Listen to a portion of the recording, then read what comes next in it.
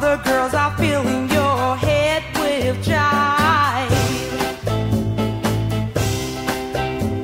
So now you're.